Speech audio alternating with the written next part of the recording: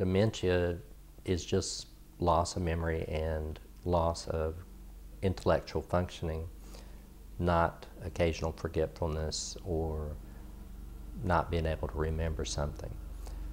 There are medical causes. Um, you can have it caused by fever, by drugs, drug reaction, intoxication, and other things that may cause these this long, progressive, chronic problem called dementia. Dementia gets worse with time. The most common form of dementia that we associate with patients these days is Alzheimer's disease, and it is progressive and chronic and worsens with time.